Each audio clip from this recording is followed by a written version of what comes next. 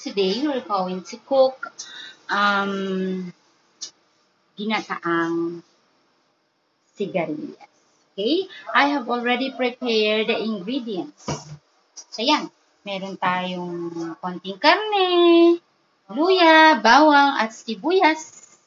And then, of course, yung gata. Yan. Ito yung first na gata. Ang gata. Ito yung second one. Okay?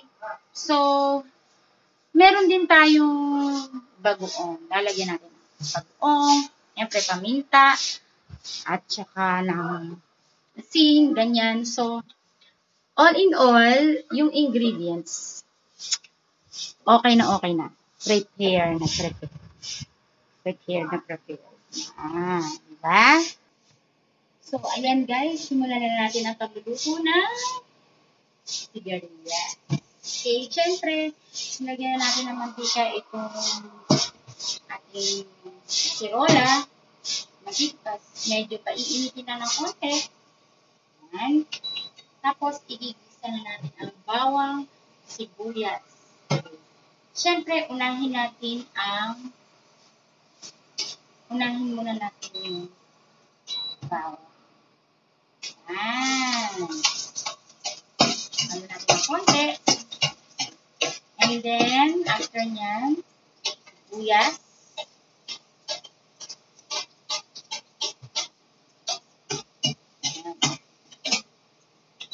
Bango! Actually, first time ko magluluto nito. At dahil first time, kaya i-video ko. Ah, nag-iipo lang video. Hmm, white onions nga pala ang ginamit ko para mas masarap. Ayan, tapos luya. Ayan.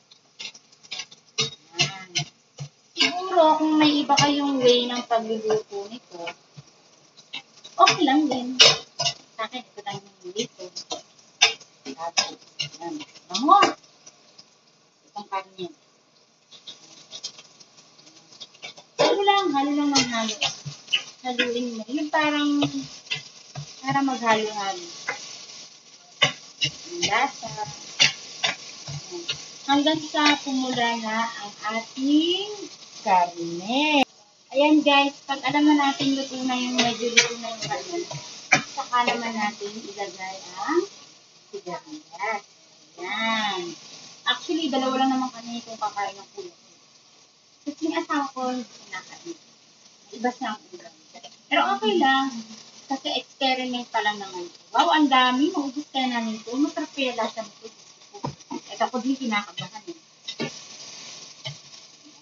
Haluin lang natin.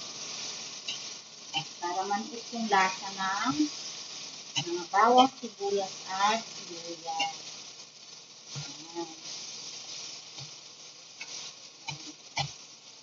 Sana nga, no? Manuot. Yan. Haluin lang natin ang haluin.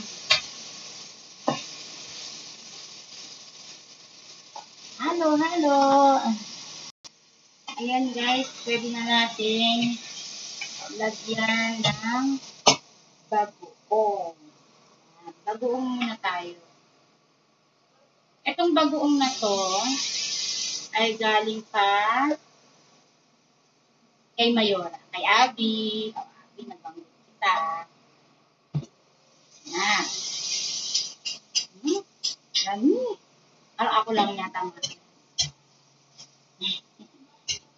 Yan. Mahilig po talaga ako sa gata, kaya lang hindi ako marunong mag ng mga gata-gata. At saka kahit ano, hindi naman talaga ako kagalingan magluto.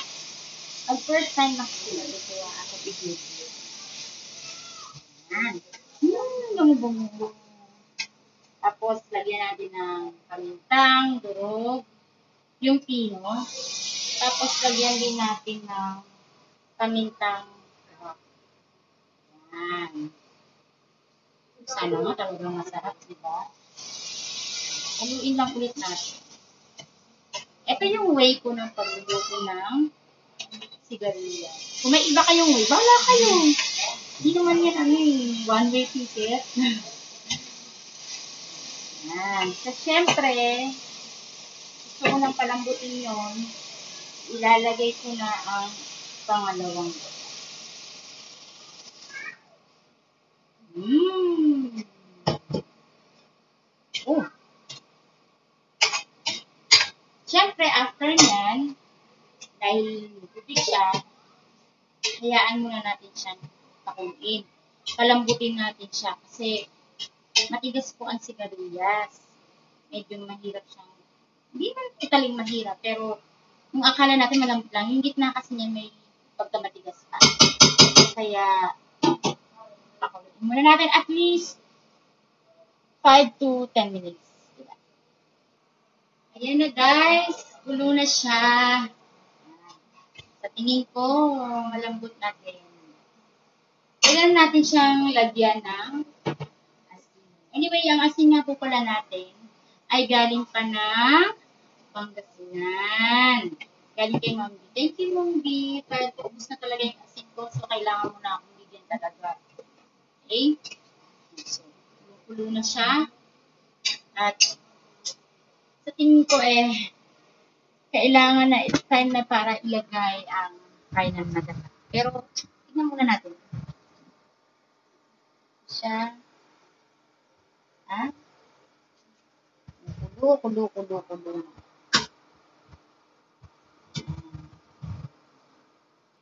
Ayan mga manay, dahil kumukulo mga siya, nakita nyo naman, pwede na natin ilagay ang ating final gata. Unang gata. Okay. Ayan, white na white, di ba?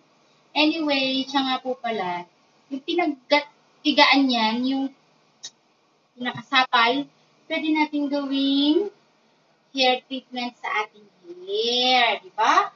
O talagang walang tapon ngayon. Although medyo mahal lang talaga ang gata.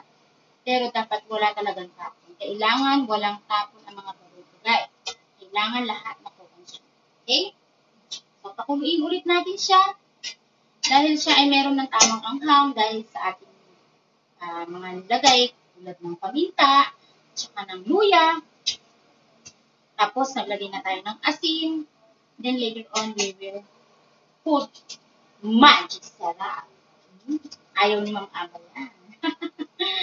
Ayaw Ma'am Aba. Ayan, lagyan natin. Konti-konti lang naman. Kasi use na yun. Hindi naman ako nakakaubos ng isang magic syrup sa isang menu. At may menu kahit hindi ka galingan nagluto. Ay. So, pakuluin ulit natin siya ng pakuluin. Maaari nga dapat makuyuan ko. Kaya lang, siguro masyadong lang Diba? Tama? Sige, after mga 5 minutes. Okay na guys, luto na ang ating ginataang sigarilyas.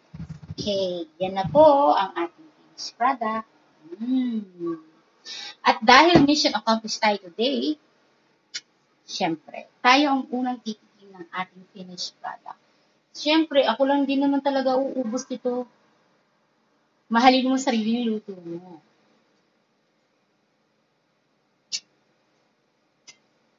Mmm, I love it. See you on my next video. Bye!